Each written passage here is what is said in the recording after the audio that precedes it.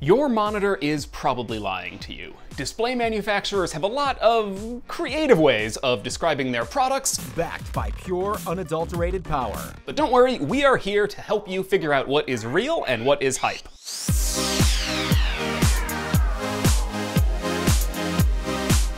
Welcome to Upscaled, the Garage Edition. This is our explainer show where we break down the bits of tech that make your gadgets work. Now, we spent the last few episodes talking about 5G, and we know you folks still have a few questions there, and we may return to it. But for now, we wanted to take a break and talk about monitors, and specifically the specs where manufacturers aren't always entirely truthful. Now, there are three main areas where specs can be a little bit deceiving, and they have to do with response time overdrive, chroma subsampling, and color depth. First off, a quick refresher on LCD technology. In all LCDs, a backlight, these days usually a bunch of LEDs, shines through a layer of liquid crystal and then through a red, green, or blue color filter. Now, this liquid crystal is made up of materials that change shape when voltage is applied to them. You can think of them kind of like tiny doors behind each pixel. Apply some voltage and the door opens and lets light through. It's also worth noting there are three main types of LCDs. TN, IPS, and VA. TN is the oldest technology, it's been around the longest, but these days most panels you see, most computer monitors, almost every laptop screen, the majority of TVs, and most older or cheaper phones are all IPS. IPS has a really wide viewing angle and great color, which are things TN is not as good at. VA panels are out there too, but they're a little more specialized. They have really good color depth, but they have pretty slow response times, which means they're not ideal for movies or games. Fast motion can sometimes blur, which is something TN panels are still great at. If you play games at all, response time is probably the spec you are most familiar with. This is how quickly an individual pixel can change its shade or color, and a slow response time can lead to excessive motion blur or even ghosting, where a moving image actually leaves a trail on screen. Now, response time is different from refresh rate, which is the number of new images the monitor can draw per second. Both are important, but we'll touch more on refresh rate in a second. Companies used to measure response time by how long it took a pixel to go from black to white, back to black again.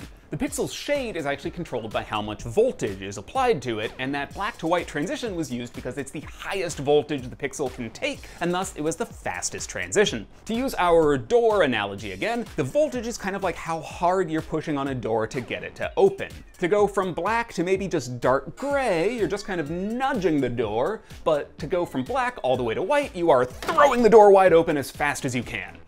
Absolute fastest response time you can get in a TN panel is about 3 milliseconds these days, though the fastest IPS panels are a lot slower at 12 to 17 milliseconds. But wait, you might be saying, if I go online right now, I can find hundreds of IPS monitors all advertising response times under a millisecond. Are they lying? Maybe a little? The full black to white transition is actually relatively uncommon in an image. How often is part of your screen changing from totally black to totally white? Much more common is transitions between two different shades of gray, and the problem is this is a much slower transition. Because the voltage applied to a pixel not only determines what shade it ends up at, but also how hard it's pushed to get there, so-called gray to gray transitions could be very slow. Shifting between two different shades of dark gray could actually take 30 milliseconds or more, which is slow enough that our eyes can notice the smear. The solution to this was overdrive, or so-called response time compensation. This hits the pixel with the full voltage it can take, but only for a split second. Back in our door analogy, it's kind of like throwing open a door so hard that it bounces off the wall and back nearly closed again. It makes those gray to gray transitions way faster, and it really does cut down on motion blur and ghosting. And most companies have started using this, and they've also started advertising their gray to gray transition speeds, which are now much faster than that black to white to black. What are you talking about? Doors and should we, should we do that take again? The problem here is that black to white to black was actually an official metric set by the International Standards Organization. It was consistent and comparable between companies. It always meant the same thing. The gray to gray standard varies widely based on the panel type, the shades of gray being transitioned between, even the manufacturer of the panel. And you can bet that whatever number you are seeing advertised is the absolute best case scenario for that panel, and it may not perform that well most of the time. Time. There are a few potential downsides to overdrive too. If the pixel really overshoots its target with that high voltage, you can actually end up with a bright halo around moving objects, and overdrive can make image noise, especially in dark parts of the image, a lot worse. Also, it's just not comparable. It's hard to know if one millisecond from one company is the same as a millisecond response time from another. On the plus side, as long as the monitor looks good to you, that's really all that matters here. Whoa, color. And that's also true for color depth.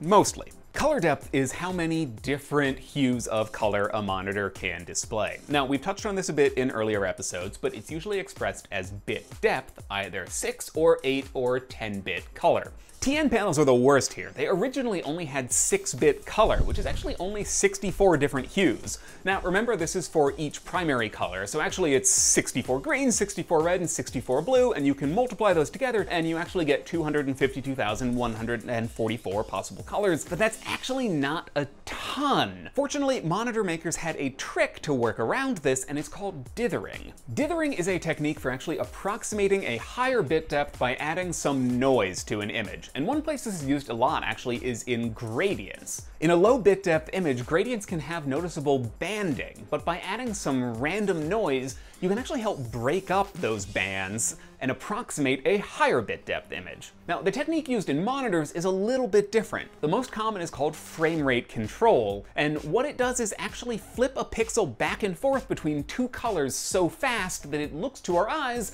like a third color the monitor isn't actually capable of displaying. The same way that enough still images moving fast enough looks like a moving picture to us, switch back and forth from red to blue fast enough, and it looks to our eyes like purple. Older TN panels had 6 plus 2 color depth, which means they used a 6-bit panel plus frame rate control to approximate 8-bit color. These days most TN panels actually are 8-bit, but as we're starting to see 10-bit IPS panels become way more popular, a lot of those are actually 8 plus 2 and not true 10-bit, including some pretty high-end monitors like the screen of the iMac Pro. There are true 10-bit IPS screens out there, but they are relatively rare and pretty expensive. So, does this matter to you? Well, again, if it looks good enough, maybe not. Oh yeah, perfect. FRC actually does a pretty good job approximating a higher bit depth, and as long as the screen looks good to you, that might be enough. Some folks are especially sensitive to the slight flicker it can introduce though. It sometimes makes colors look like they're shimmering, especially in the darker parts of an image. And if you work with digital photos or media, well then maybe having true 10-bit color actually does matter to you. What a higher bit depth really does is let your monitor display colors more accurately. And while you can't account for how an image is going to look on every everyone's screen out in the world, the same way you're better off editing an original photo than a low quality JPEG off the web, you're better off doing your work on a high quality accurate screen before you send out your image or video to the rest of the world. Now this leads into chroma subsampling, which is another way monitors can distort color.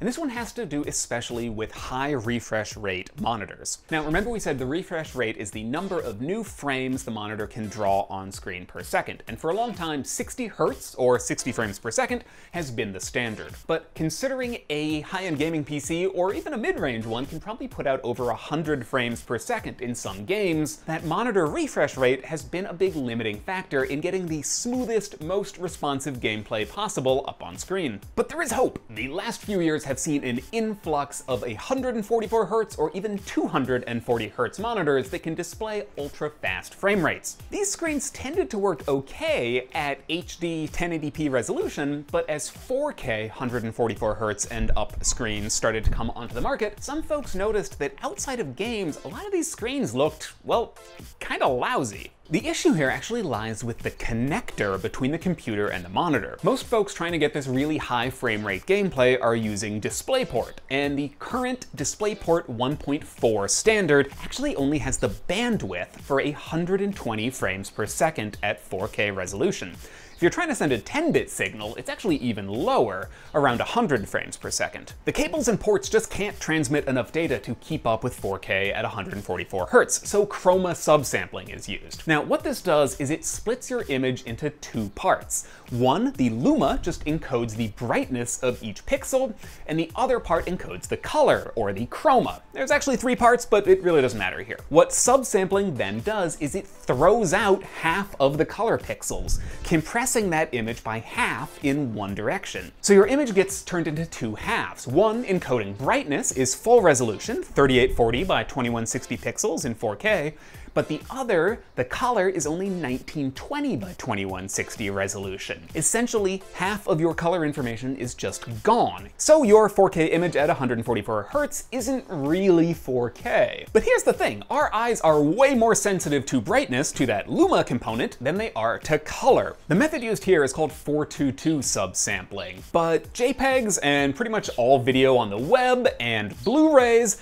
actually use 420 subsampling, which throws out half the color information in each direction. It only leaves a quarter of it behind. And Blu-rays still look pretty good. And actually gameplay at 422 looks fine too. The only place you really get issues with chroma subsampling is very fine high contrast details on a static background, like say, oh, text on a screen, or pretty much any interface element of your standard computer desktop. In these situations, fine details, and especially thin vertical lines, can end up looking smudged or blurred, or even partially absent. Now, most modern high refresh rate monitors do have an option for a non-gaming mode that will restore full color, but if you don't know what's causing your desktop to look lousy in the first place, you might not know that's a setting you need to change. The crazy thing here is that DisplayPort can support 4K at 120 Hz with no problems and no subsampling, and I, for the life of me, cannot work out why manufacturers made 144 Hz the standard. The difference between 120 and 144 frames per second is pretty negligible, with the big difference being just that at 4K,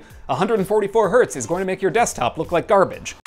All of these problems will get better with future technology. OLED panels already have nearly instantaneous response times, but they're still pretty expensive, not terribly bright, and they're not great for computers where static images on the desktop can burn in over time or leave a trace image behind on the screen. Micro LED is a new technology we're expecting any day now that should solve those drawbacks, but we're not sure when it's going to arrive, and again, it'll probably be pretty expensive when it first does. Future HDMI and DisplayPort standards should get rid of the subsampling problem too. HDMI 2.1 can support 4K at 144 Hz no problem, and can actually support up to 10K at 120 Hz using something called display stream compression, which is different from subsampling. It doesn't actually throw out any of the information, but it'll be a while before those new standards are really fully supported. We're starting to see a few HDMI 2.1 TVs come on the market, but there aren't really any monitors that support that standard yet, and also no graphics cards, so it's kind of a moot point. DisplayPort 2.0 should support similar speeds as well, but we're not expecting to see any devices support that until the end of 2020. So for now, maybe 4K at 120 Hz is enough? Let us know if there are any other tech questions you want explained. We are stuck inside with a lot of free time right now, so if there's anything you've been dying to get explained to you, let us know and we'll try to figure it out. And in the meantime, be sure to like and subscribe and wash your darn hands. We'll see you next time.